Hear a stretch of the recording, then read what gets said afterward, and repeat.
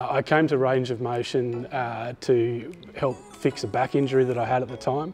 Uh, it was limiting the amount of fitness I could do and fitness is very important to me. I spoke to a few people in the fitness industry and they said Range of Motion was, was the place to come. Once we got that sorted then it was slowly, little steps, building it up from there, building strength back, building fitness back. I've increased, I've increased basically all my strength testing, all my lifts, uh, gymnastics has come a long way. I hope um, my family sees what the, the, the, benefits and the good, thing it, good things it does for me.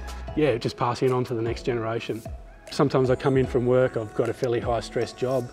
Uh, I get to shut off for the period of time that I'm training and just focus on that. Whenever I leave and I've done my fitness, I feel so much better. In fact, I probably feel the best I do all day.